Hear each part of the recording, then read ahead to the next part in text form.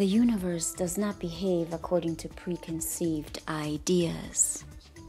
It continues to surprise us.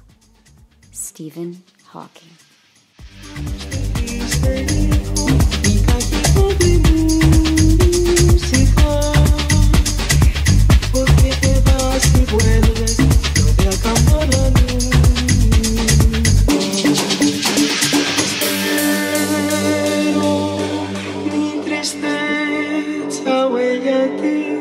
Y es menuda.